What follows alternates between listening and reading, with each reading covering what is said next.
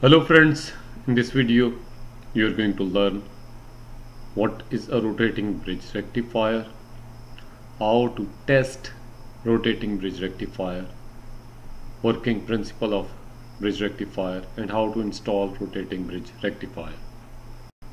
Today we are going to test and install this bridge rectifier which is Leroy Somer bridge rectifier. Bridge rectifier basically rectifies the alternating current or AC current to direct current or DC current. DC voltage from the rotating bridge rectifier is applied to the main field. Such rectifiers are designed to rotate on the shaft with the exciter, armature and the main field. That's why they are called rotating bridge rectifier. First you have to select a suitable multimeter. This is UNI-T multimeter. And you have to use the common port and the port with the mark of voltage and the diode and milliampere. I'm going to use it this multimeter for testing the diode. Rotate the selector switch toward the diode mark there you can see the diode testing is selected. Also the small selector switch near the screen need to be pressed so that we can select the diode testing. Now after selecting from both positions the diode testing we will start the testing procedure for the diodes.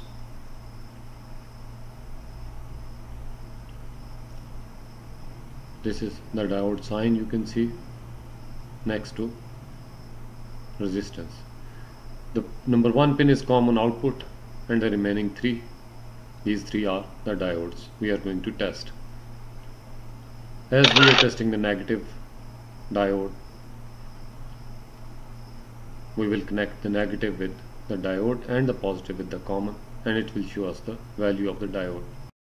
There you can see it's 0.470, 0.495 and the number 1 was 0.505 or 506.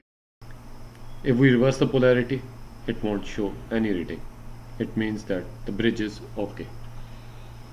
Now that is the positive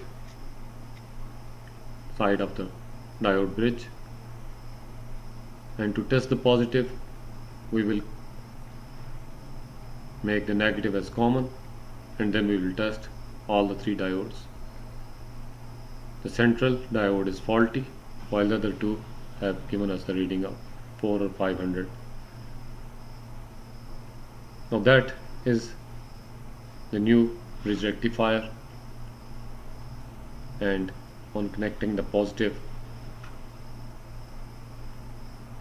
at the common it haven't shown us the reading and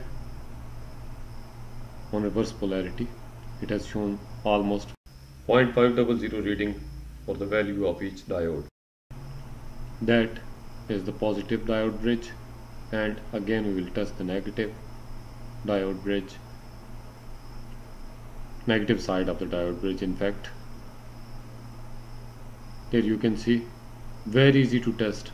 You can do it yourself now we will take out the faulty diodes. From the alternator. As you can see they are installed on the exciter armature. And I have already told you they will provide the DC voltage to the main field.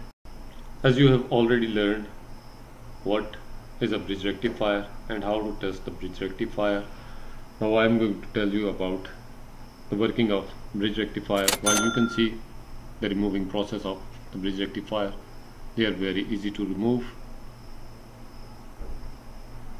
Six wires from the armature exciter armature are connected on the diodes and two wires are for the output to the main field. After removing the screws holding the or nut bolts holding the wires you have to remove the screws holding the diode bridges which are installed on the back side of the bearing. Now I'm going to tell you about the working of bridge rectifier. The bridge rectifier converts the DC current AC current to the DC current alternating current has a frequency of 50 to 60 Hertz depending upon the location of your country in some countries it's 50 Hertz in some countries it's 60 Hertz. On conversion to DC the frequency will drop down to zero.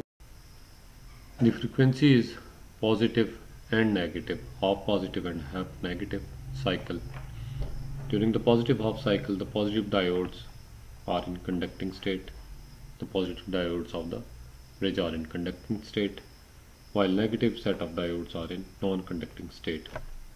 Similarly, during the negative half cycle, the negative set of diodes are in conducting state while positive set of diodes are on, in non-conductive state. During the positive half cycle, the positive current is out and during negative half cycle, the negative current is out and they can be measured on negative and positive output of this diode bridge. As you can see, we are repeating the process of testing the diodes. First the negative plate, all the diodes are faulty. They are showing us the resistance of 02, 03, which means that diodes are short. While the positive side, two diodes are okay and one is faulty. There you can see. With the help of multimeter, it is verified that four of our diodes are faulty 4 out of 6 diodes are faulty and 2 are working okay. So we have to replace the complete diode bridge. After confirmation that the diodes are faulty we have purchased the new diodes. I have already shown them in the beginning of the video during the testing procedure of new diodes. Now this was the previous night and the next day we have purchased the new diodes. And the thick wire here you can see is the output wire which is giving current output current to the field winding.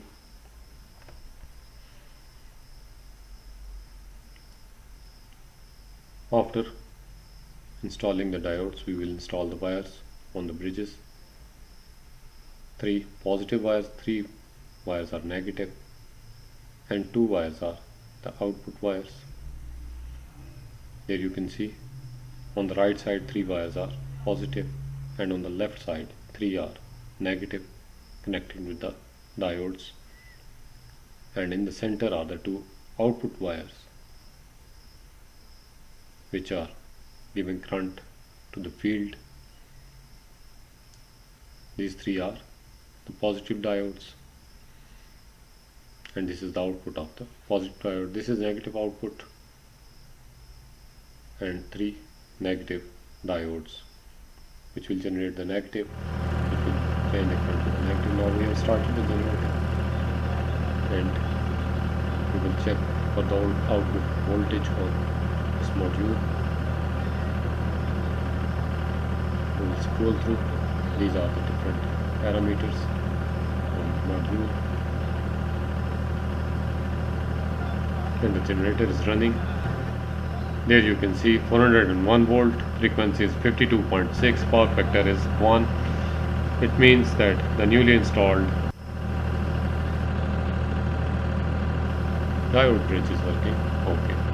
I am unable to share the video of the generator not generating the current because the self starter was rotating with the engine as it is connected with the voltage when engine generator produces the voltage the self-starter self-starter disconnects thanks for watching the video and subscribe the channel for more videos like that